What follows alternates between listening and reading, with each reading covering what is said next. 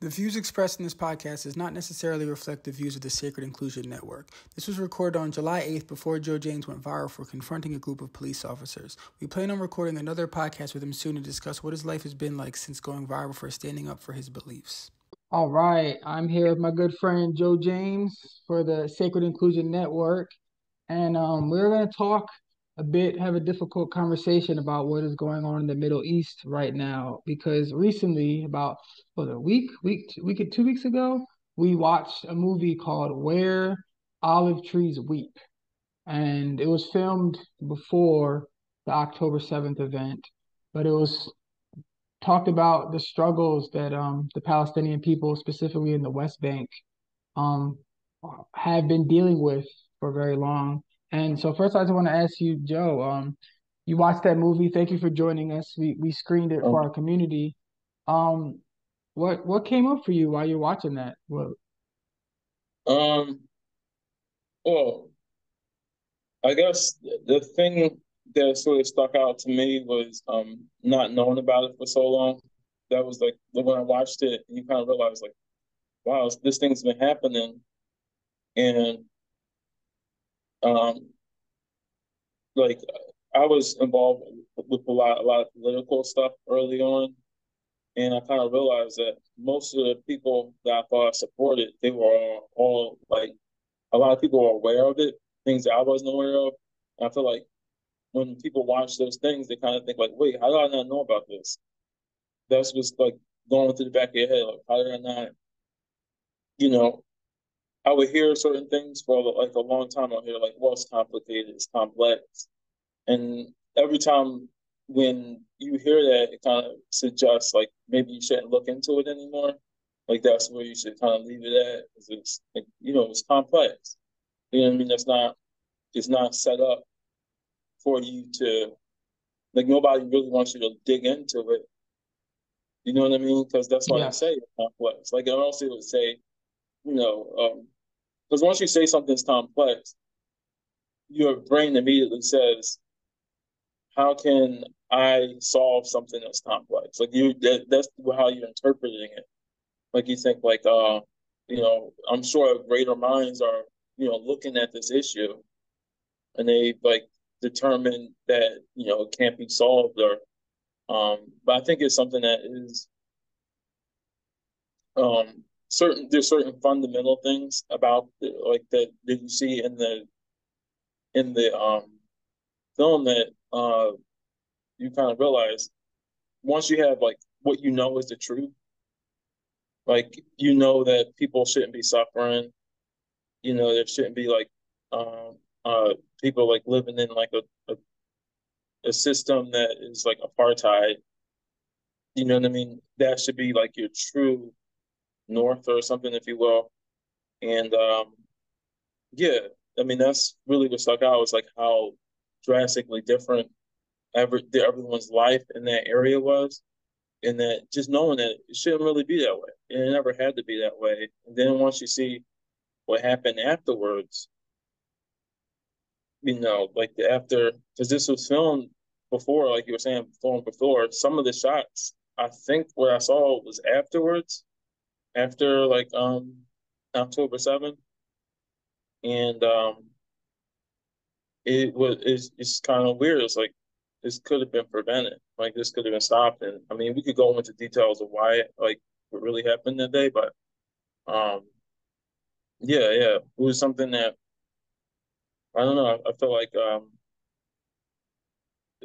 they were persecuted before, but right now I can definitely see why um,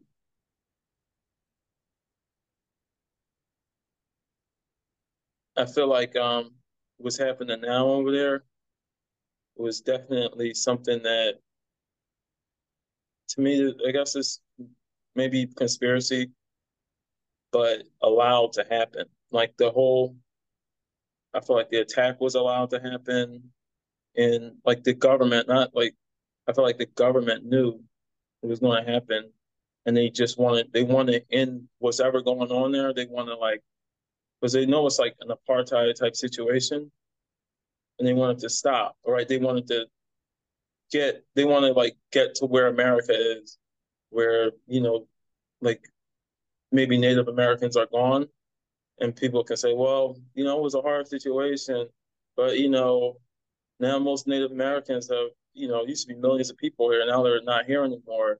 And so now we can say, and then future generations after that I'll say, it wasn't me that did it, it was, you know, the past generations that did it. And they want to get to that point, mm. but they're mm. not there.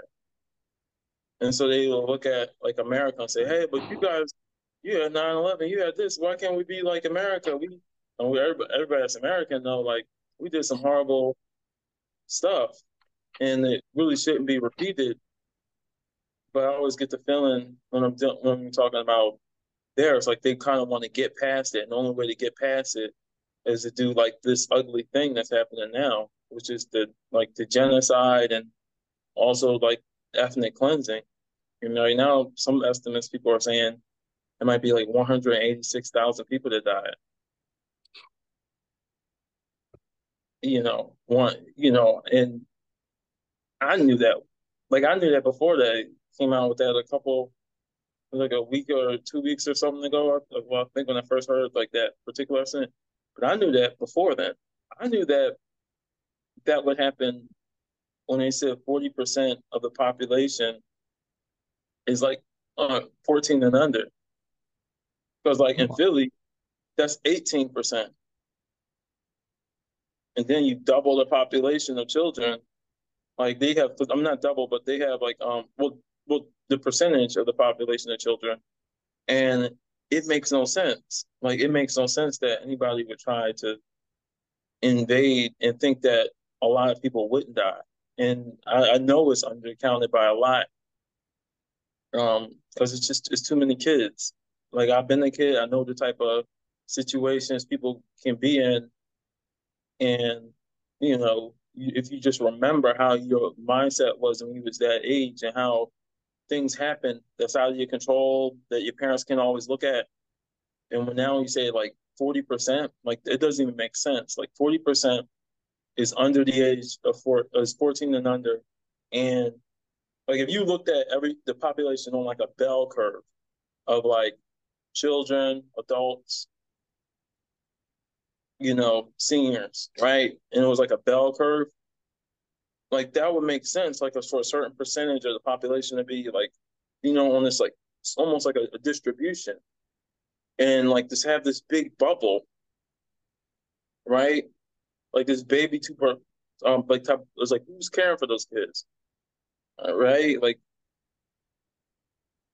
and then they have to walk along the strip. It's like we already knew that all these people were going to die before on the onset, and they were like willing to pull pull the trigger on this, like pull the trigger on these this like invasion, and they already knew, like they already could predict how many. You know, I didn't. You don't need like a White House representative or anybody. You don't need an expert. Like you just just look at use common sense, and mm. like you need to look at the fact that they knew that the attack was going to happen a year in advance. They already had plans for it a year in advance. And they already they already um uh, uh Egypt had warned them a week in advance that the attack, like um October 7th attack was gonna happen. And then like and these are not even like this is not even conspiracy theory. Like they there's like the blatant, like just the truth. Like this is what they are saying happened. This is what like Israel says happened. They knew a week in advance. Egypt told them a week in advance, and instead of like a normal situation where they would beef up security or they took more security away.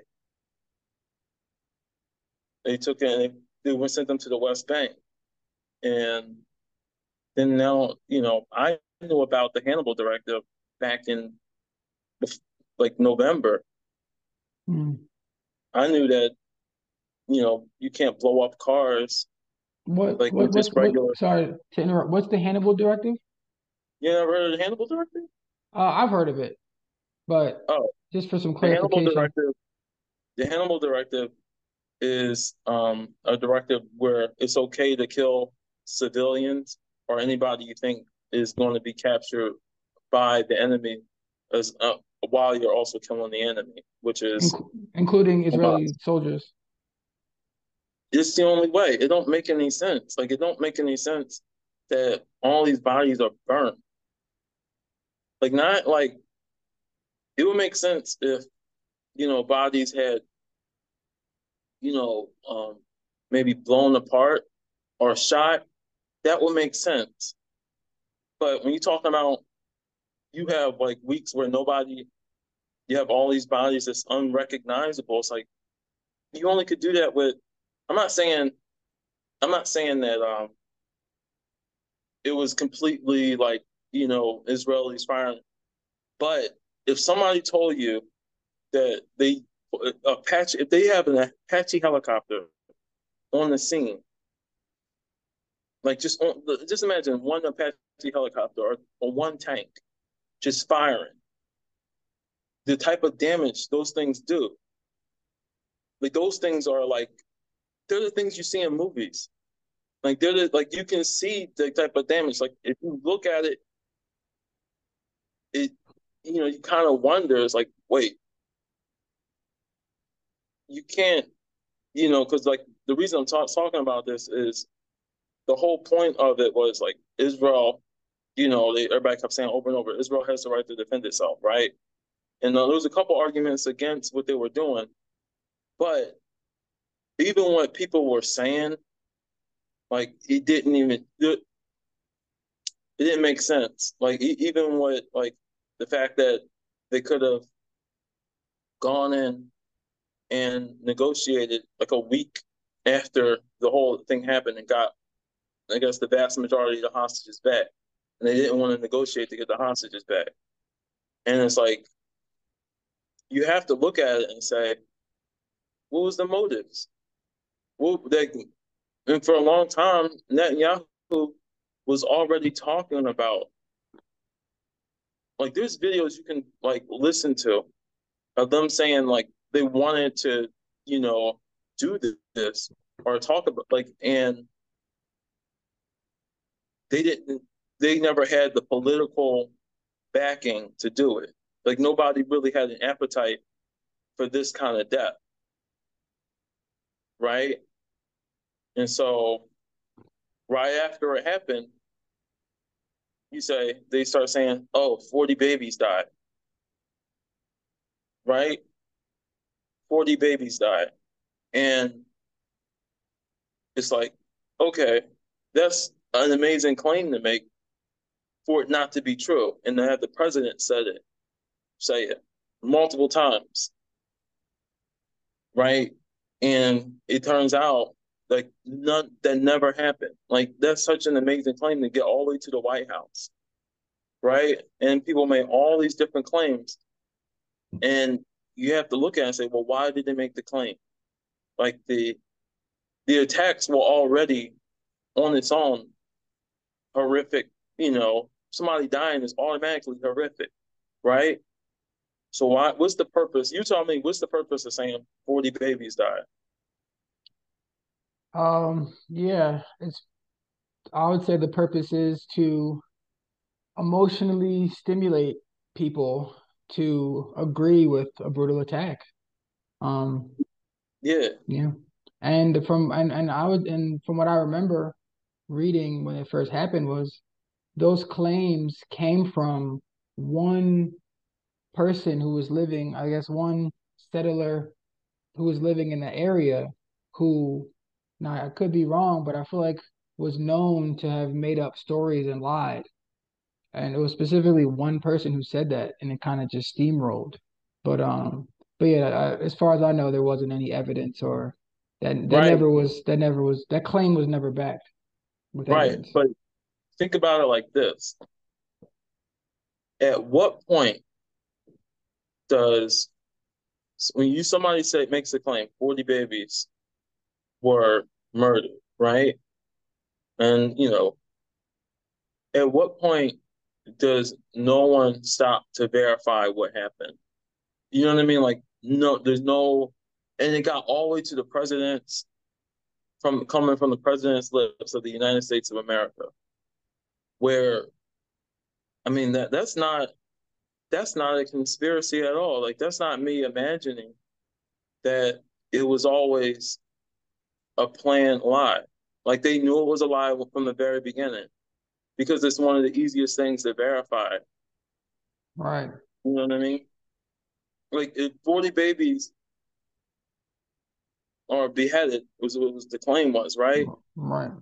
That means they had 40 they, in order to have a beheaded baby. I hate to talk like that, but in order to have it, you have to have a baby. You know what I mean? You have to have there's a person left over to make the claim that that's how the baby died, which is would be like the easiest verifiable thing. And they lied about it. And so all these red flags lets me believe that um, yeah, I mean, it's definitely something more sinister going on here. Like as far as I kind of wonder, I hate to say it, I wonder if um, they just, I yeah, I don't know. You just kind of wonder. It's horrifying to think about, but yeah. Um, I didn't. I honestly, I didn't think I was going to talk about this part of it. Sorry about that. It's kind of went down if no, I'm being honest, that's what I. If I'm being honest, that's what I think.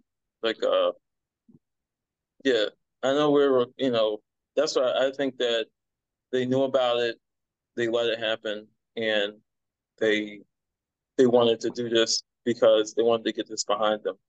They wanted to like, because it's always like you can't really, you know, they want to call themselves, you want to say like, oh, we're the only democracy in the world, right? Oh, in the Middle East. you want to say all those things, or you want to not the only. I said the wrong. Not the only. You in the Middle East. I'm just kidding.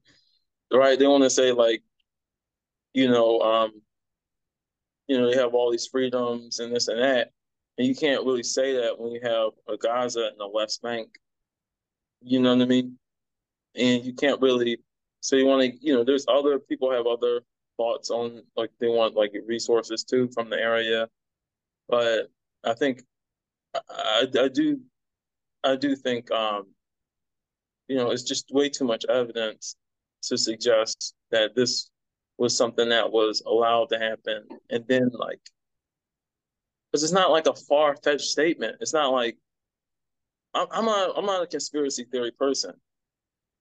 Like I'm always like a person who just I just look at things like the way they are. I just look at what happened what were the effects does any of it make sense like, I mean, yeah, like I'm not like a conspiracy. I, I'm not like usually. I mean, I will think things, but I'm not gonna like, you know, like if somebody said, "Joe, bet your life on what do you think really happened." If I had to bet my life on it, I would say they just let it happen. And it wasn't like a breakdown and you know information or anything. You know, it was like they wanted you know, you have an unpopular Benjamin Netanyahu who's about to be done away with anyway. They pull the troops back. Like, and that's not pulling the troops back. Have you ever read the Bible? Like, um, David, the story of David and um, oh shoot, what's his name? Uh, huh? Yeah, yeah, yeah they pulled the troops back and they let the one person who was innocent,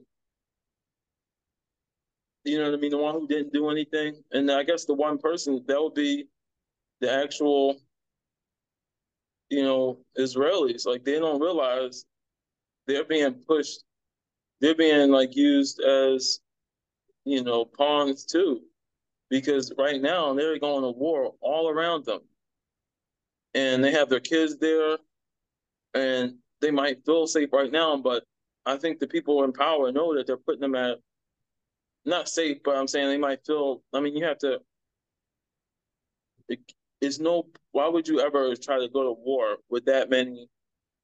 You know, um, like kind of surrounded, right? In a way, it's like it doesn't make any sense to me. And like once they realize, like, oh wait, um, government's not trying to actually get any of the citizens back. They're not trying to get any hostages back because they could have had them back a long time ago, and it's not the best way the best way to get them back was to negotiate. And there's all these protests in the street. And you have to realize, like, wait, they don't even have our best interest in heart. You know what I mean? They don't even have, like, because they could have got them back. They could have got them. They could have got the vast majority of them back. And now it's like, I wonder who's still even alive. You know. I think that's a very important point and a big message. Is I would say, you know, whether it come when it comes to the American government, the French government, the majority of the governments, that right. you look at their actions, and right. it's very clear to me that the people who are making decisions don't have the best interests of their people in mind right. when they're making these making these decisions. And um, you know, it seems clear that they are being directed by uh, people who we probably don't know above them that are helping them receive copious amounts of wealth and are controlled. And so, yeah, I would I would agree that that point is that the Israeli government doesn't have the interests of their people when they're making these decisions. Right. Be- because if they did have the best interests of their people, they wouldn't be putting their people in such danger. Right. Um, you know, going doing what they're doing in Gaza in the West Bank is actually causing the potential and probably the high potential of a lot more violence to be right. brought upon the Israeli people. And there's instability. The you know the economy is tanking because um, Yemeni soldiers or the Yemeni military is pretty much blocking off the um, I forget what it's called, not the Strait of Hormuz, um, the Red Sea Strait. I forget the specific strait, but the economic impact to what's happening is Israeli is massive. The the stress, the fear. There's so many different horrible situations that um that are happening because of these actions. So yeah, if, if I'm I'm looking at it from a you know if I'm an Israeli citizen, I'm saying how the hell is killing all of these people, uh, which is really creating more Hamas members. The more people they right. kill, the more people are going to want to fight back.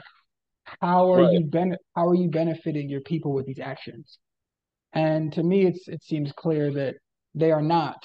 They are, the, they are have their own selfish motives, whatever the case may be. I would say power and wealth, and they're probably beholden to higher forces who they're actually just puppets and they're just doing what they're told at the end of the day, is what I believe. But yeah, I think that's a really good point that it's hard to justify that just bombing a whole city full of people who are besieged and can't leave it's hard to say that uh, oh th- how does that benefit the israeli people i can't right. see the clear benefit it seems like it's only causing negative consequences and i believe that hopefully the israeli people are seeing that more and more and i hopefully the american people are seeing that more and more that the, the choices and decisions the american government the choices they give us right. are are it's it's clearly not in our best interest the system has clearly been hijacked to only serve a few i would call psychopathic people. And right. at some point when is enough going to be enough? And when are enough people going to be like hey wait i'm not going to support this anymore. I can't i can't vote for this. I can't pay my taxes to something that is clearly going to something so evil. Um i think that's a that you know i just think that was a very valid point that i wanted to yeah i mean it's definitely been a mask off moment for a lot of people like as far as even like us politicians like right. that was claiming like they're so like progressive and when you had like a clear you um yeah it was like you you have a clear look at like something like this objectively right or wrong like you can't and you can't do this type of you know genocide and um you know because, because like so many politicians even democrats like not even but like you know the ones who pretend like they're progressive like they were scared to even talk about it. Yeah. Like, can you imagine? Like, they're scared to even talk about, like, and that was for like months, for months, and um, they just fearful to even mention and bring it up. Then you had the few, they called them the squad, you know, you know, and um, even the squad, they when they talk about it, you know, um, uh, Bernie Sanders, he was saying, oh, he, he was saying up until I heard last time I heard it was um, I think at um at Bowman's um, you know, uh, his attempt to get reelected, um, you know, he, he, he's, uh, Bernie Sanders said a speech where he's like, yeah, Israel has the right to defend itself, but not like that. And it's like, really, you're gonna say that after everything that we know? Like we know that they knew about the attack. We know that they, um, you know, pulled their troops back, and you you just you know how many people died, and they have more information than we have. And, and I know something's off because, you know, if I could do the calculation, and I'm I'm not like a um, you know, uh, some type of mathematician or um, you know, I'm not, you know, it, I, am not like a genius, but, but it's just it just takes very basic arithmetic to figure out that you know a lot of people will die. Like if you do this, and they still the thing that the driving force was, well, they're not doing it the right way. They could go about it a different way, but they have the right to go in there. It's like, no, you don't have the right to kill, you know, blow off the limbs of all those kids. Like you don't have the right to like, you know, you don't have that. You can't like potentially have allowed something to happen, which you know obviously is up in the air. But to me, it looks like they allowed it to happen. I'll just say it. They, it, you know, it looks like they allowed it to happen. It looks like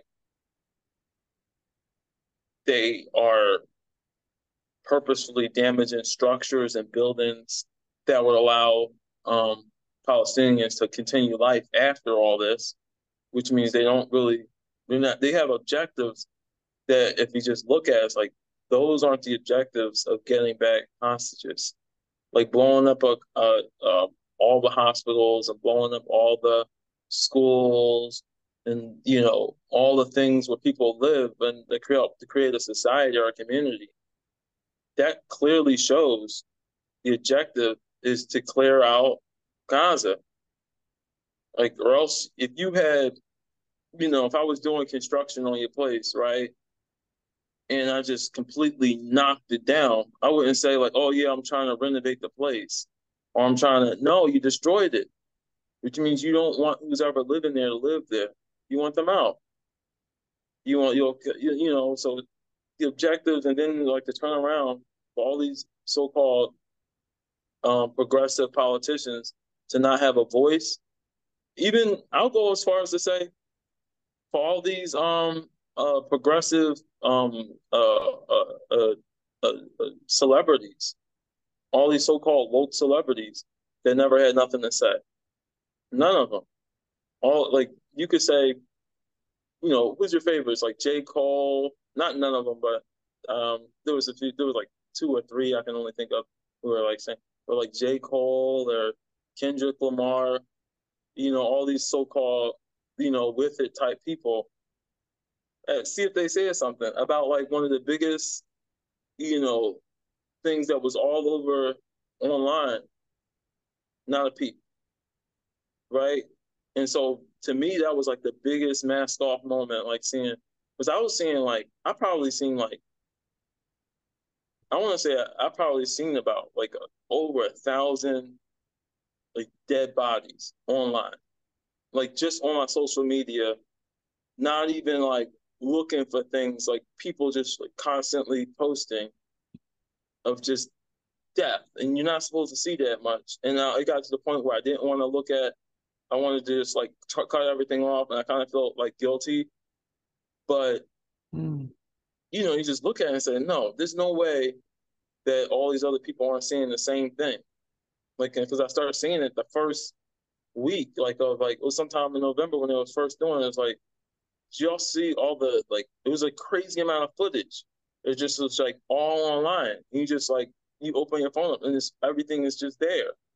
And it's like it's just impossible to like put behind you. And for a long time, no celeb like not no celebrity, but a lot of celebrities didn't even want to go online.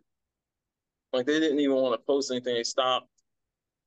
If you look at Kendrick Lamar's, like um not Kendrick Lamar, uh J. Cole, he completely erased all of his uh all of his uh uh uh history from like since the beginning. And I think it was because a bunch of people were going on to all these celebrities' pages and asking them to speak up.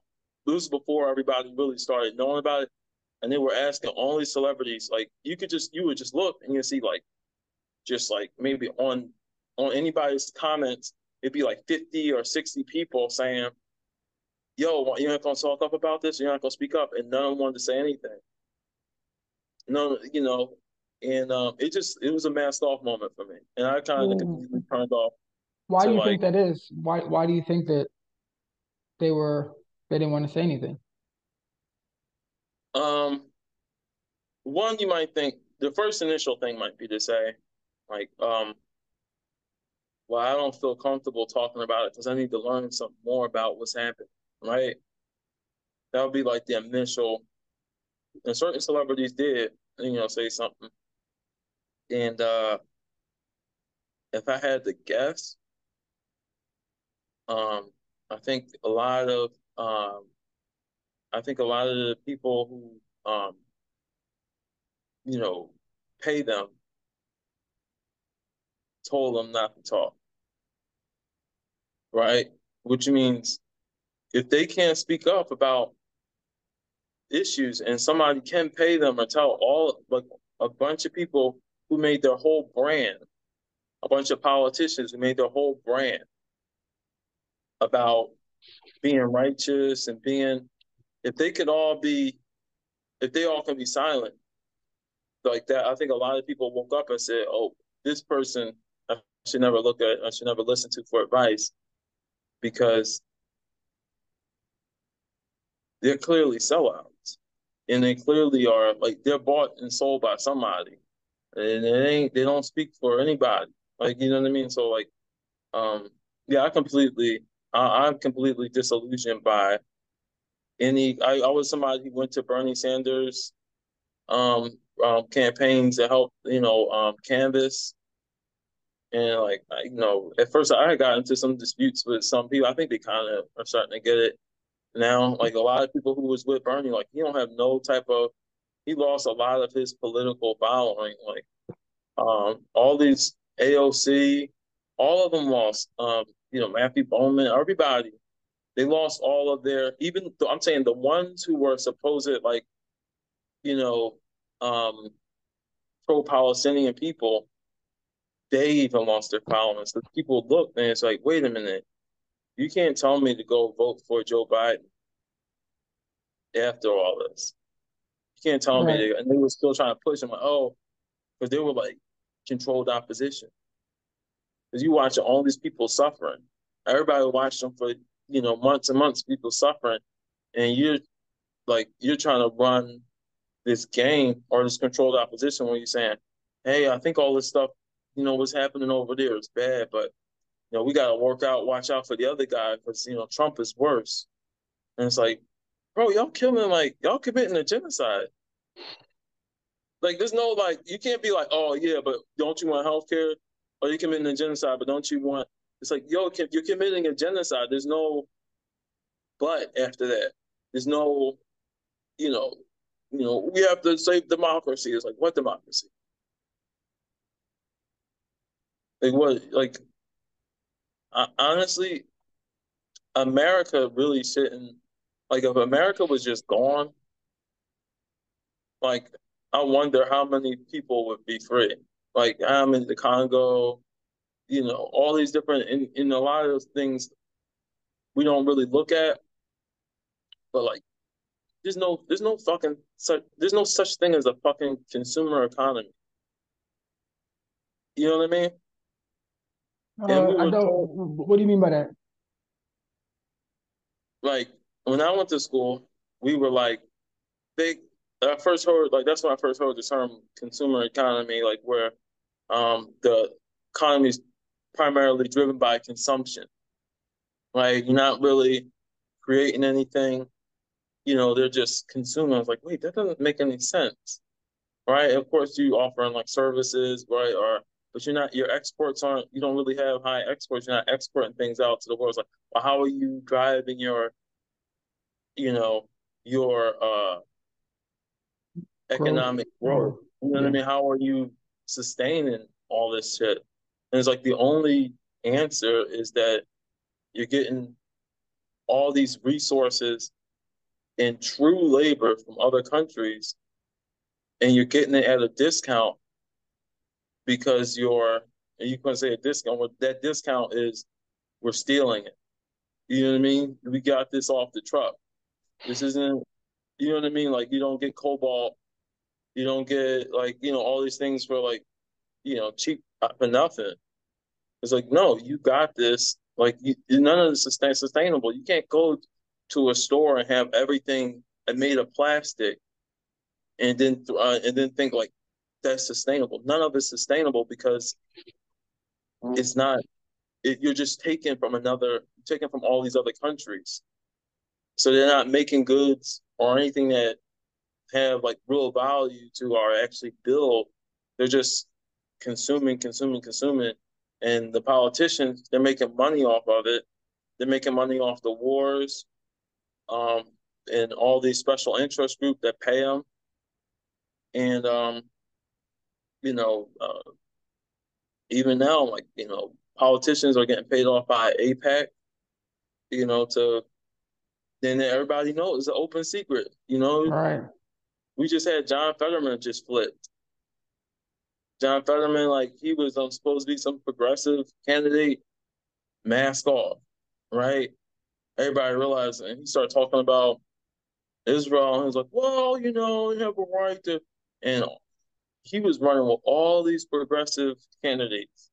They had him being endorsing everybody, and then as soon as this happened, it was like a mask off moment. It's like, "Oh, how'd you get how'd you get it like that? Who funded you? Who was you know, it's like, oh that that person's actually, you know, they're for something different. They don't have no they don't have nothing to do with their constituents. You know what I mean? I do know what you mean. Right? Mm. And so it's like, man, like it really should be it really should be people boycotting America. Mm. America need to be like completely like it really don't even need to be a thing at all. Like we don't it shouldn't be a thing. Like we shouldn't be I don't even want to prolong this stuff anymore. Like because when you start realizing it's like we kind of are like the generally I think we're the reason why a lot of countries are suffering like crazy. Why people are coming here is because we're making everything over there everybody over on all the other places suffer. We're like this destabilizing economic hitman type of stuff. And it's like, you know, we're like the new Rome, so and we gotta fall, like in order for there to be any kind of real civilized civilization. Wow. Yeah, that's that's deep. And you know, I mostly agree with you. It's for me, it's so interesting how, like you said, there's been this mask off moment, or I feel like America, if there's one thing that the country of America was really good at, was propaganda of creating right. an, an, image and an illusion that was not the truth. And right. that was the basis for a lot of the things that America has accomplished.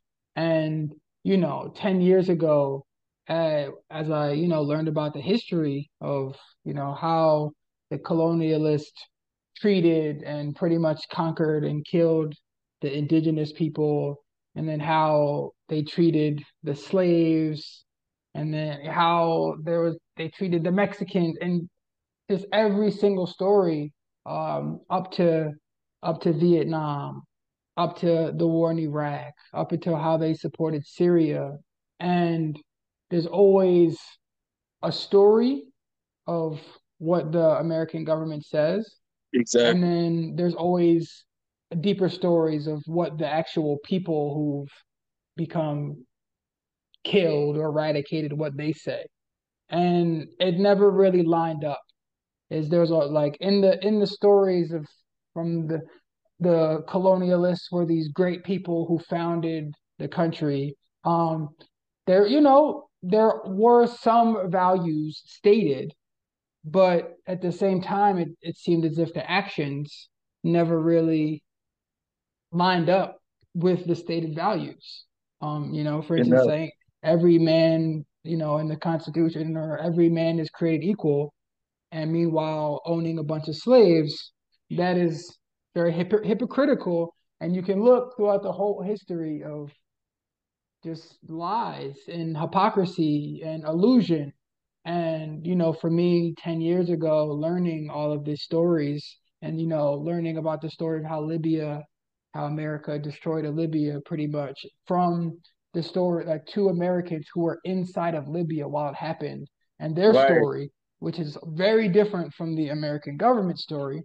Right. And I was like, oh, wow, most of what we've been taught and told about is a straight lie. It um, is. And so it's interesting now that it seems more and more people are now starting to realize that, oh, the basis of our entire society, the, the entire civilization is actually lies. And most of the comforts we have are off the backs of whether it's in the Congolese mines where there's these children slaves who work for like seven cents an hour, or it's the Chinese who are making all these technologies who have need nets around their building because so many of them are killing themselves because they hate their lives. It's just based off illusion and lies. And right. you know, Americans and just the Western world in general um, have been very comfortable and got used to believing these lies and then right.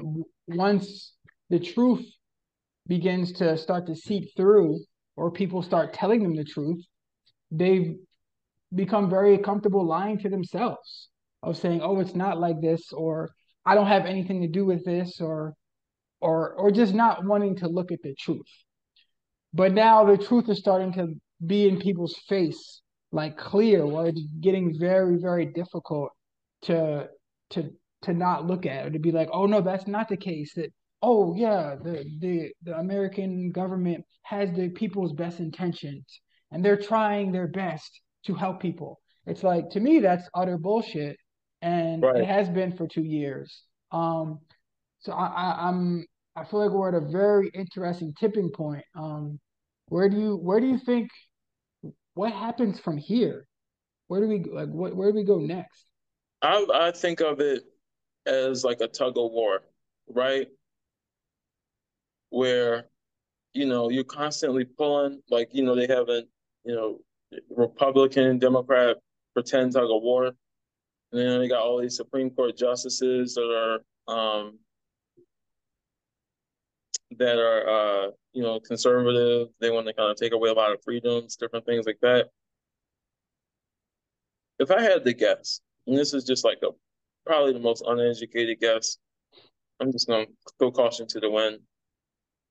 I would say the people who are progressive need to just let this thing go, let the rope go. And Republicans, like their whole like philosophy of like you know, you know, societies based off of just pure capitalism and all those things would naturally just fall. It can't work. That's why they go to. They know it can't work, and they know that you need a more um, socialist way of um, working together, like to make a um, something that's sustainable. And uh, honestly, at this point, the way you just kind of let the rope go. When you let the rope go, the other person, the, the other side just falls it, it's not sustainable. Like you can't mm. a lot of those ideas and the way they want to run things, and you have all these so-called and really they make it pretend like it's like a real tug of war between those things. But a lot of the so-called left Democrats and things like that, those are the same people that's for wars that and have always been for wars. They've always been um, you know, uh, in the pocket of somebody else. And so we think we're really pulling, but the other people that's supposed to be on your side, they let go of the rope just enough to let the other one pull in that direction. But we need to show like we're not we not we're not playing this game anymore. We can't play this game. We can't live in that world anymore. Like um, because it's it's a complete fabrication. Like if you go to listen to the White House press briefings, there's so many lies, and it's the most interesting thing I've ever seen, where you're watching something and everybody in the room is aware that what they're being told and what they're saying is a lie. Right.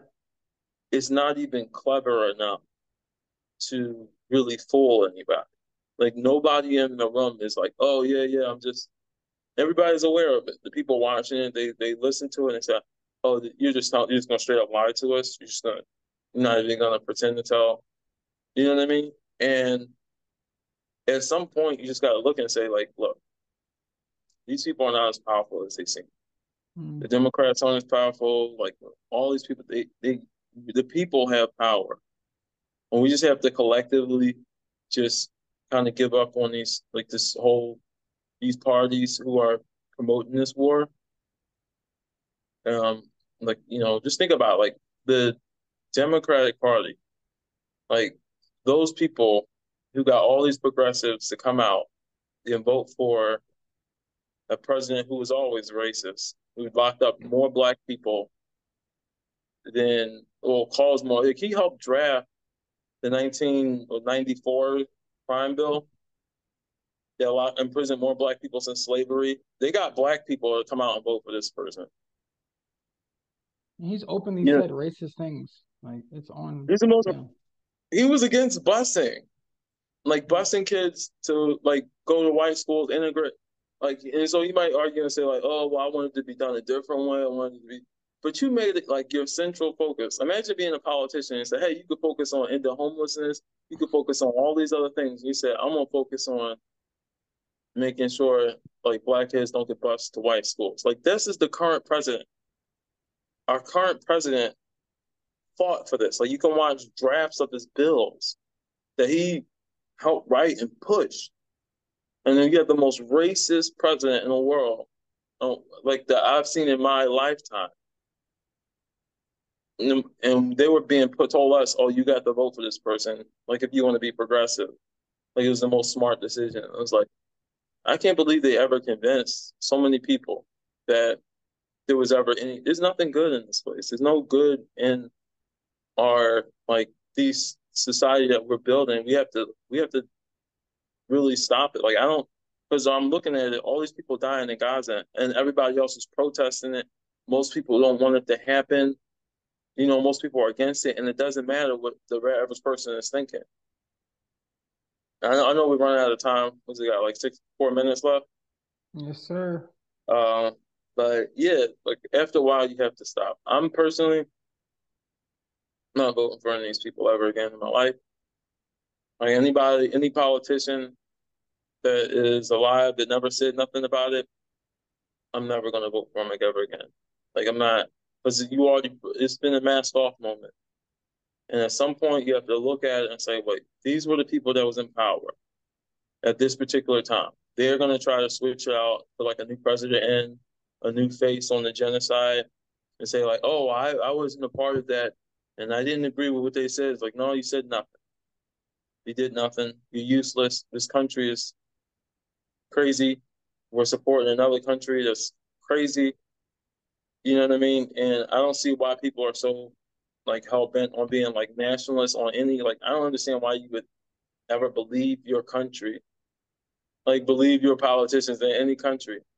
Like why would you ever believe or like you know what I mean or have like this national pride?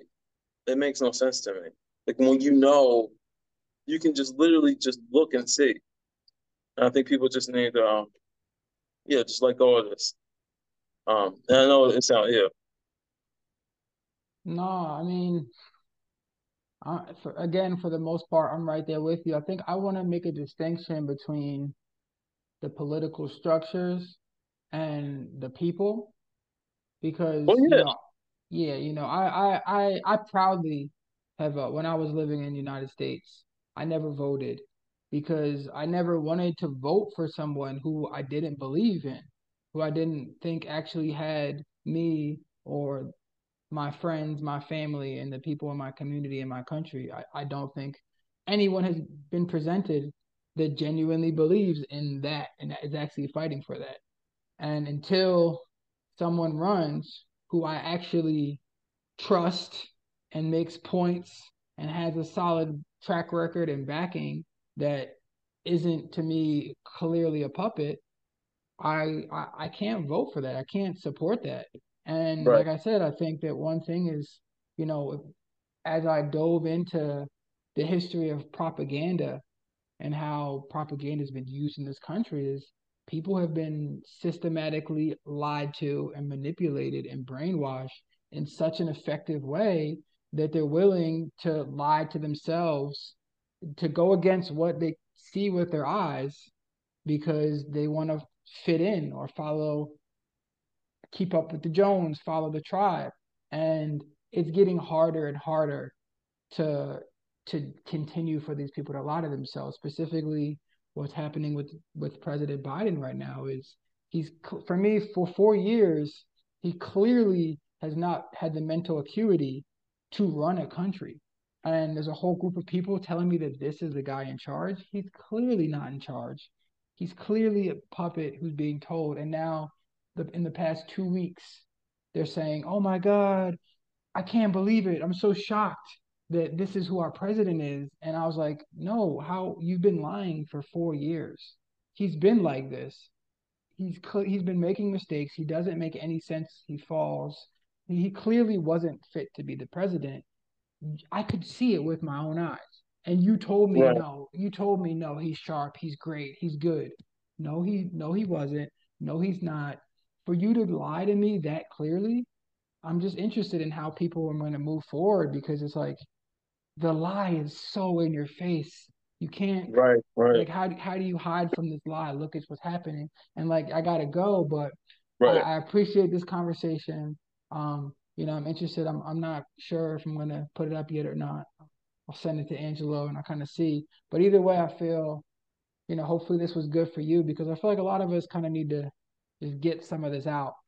Just like, right. you know, debrief. have these covers, debrief. Yeah, just get the grievances out and just, you know, yeah. because, um, so yeah, so I appreciate you, bro. Maybe we can do this again, but I'll definitely be in touch about just like having another conversation about this, the, the network in general and um, yeah, I appreciate everything you bring into the group and just for this conversation. You're passionate and you clearly care. So, um, yeah, thanks a lot, bro.